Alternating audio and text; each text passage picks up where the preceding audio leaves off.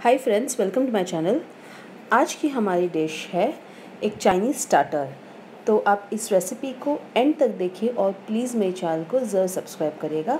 तो चलिए अब हम ये रेसिपी शुरू करते हैं। मैंने यहाँ गोभी को हाफ़ पीस में कट करा था और अब मैं इसके जो पत्ते हैं वो निकाल रही हूँ। हमें सिर्फ़ इसके पत्ते चाहिए, इसके अंदर का जो वो हार्ड कड़क पोर्शन होता है ना, वो नहीं चाहिए। तो इस तरह से आपको सारे जो पत्ते हैं उसे छाटने हैं और जो ये ऐसे कड़क पोर्शन होते हैं उसे निकाल देने हैं, ठीक है? तो मैंने यहाँ पे सारे जो पत्ते हैं उनको निकाल दिए हैं और ये पत्ता गोभी हमारा तैयार हो गया है। यहाँ मैंने एक बॉल में एक चम्मच विनेगर एक चम्मच सोया सॉस मैंने यहाँ पे डार्क सोया सॉस यूज़ किया है। अगर आप लाइट यूज़ कर रहे हो तो वो आपके टेस्ट के ऊपर आप डिपेंड कर सकते हो। मैंने यहाँ ज़रा सा चीनी और नमक मिलाकर इन सबको अच्छे से मैं मिक्स कर रही हूँ। यहाँ पे मैंने लहसुन, लाल मिर्च और ये जो पत्ता, प्याज पत्ता जिसे स्प्रिंग ऑनियन कहते हैं, वो मैंने लिया है। तो यहाँ मैंने तेल डाल दिया है कढ़ाई में।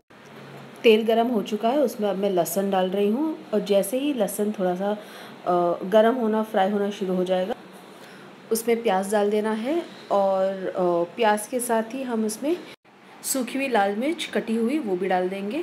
तो इन सारी चीज़ों को हमें अच्छे से फ्राई होने देना है, मिक्स होने देना है।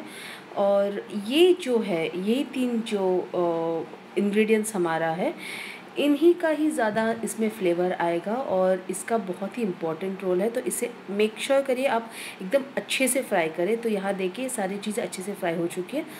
अब मैं इसमें पत्ता गोभी डाल रही हूँ। ये हमें पत्ता गोभी ऐसे ही डालना है, ठीक है? और इसे अच्छे से मिक्स करना है। तब तक, जब तक सारे जो पत्ता गोभी है, वो सॉफ्ट ना हो जाए, फ्राई हो के ये देखिए, ये ऑलमोस्ट पकना शुरू हो गया है। तो मैंने इसे अच्छे से मिक्स कर लिया है। ये देखिए, आप देख सकते हो। अब इसमें मैं जो स्प्रिंग ऑनियन है, उसके जो हरे वाले जो पत्ते हैं, वो मैं डाल रही हूँ ज़रा सा टेस्ट के लिए।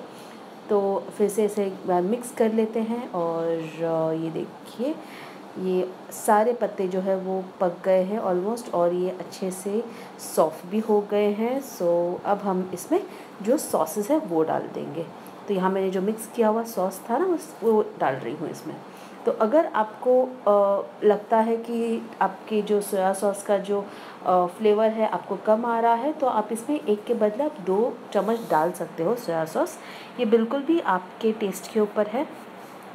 ये देखिए यहाँ पे ये बनकर रेडी हो चुका है ऑलरेडी तो इसका कलर भी बहुत अच्छा आ गया है। ये सारे पक चुके हैं, अब हम इसे सर्व कर रहे हैं।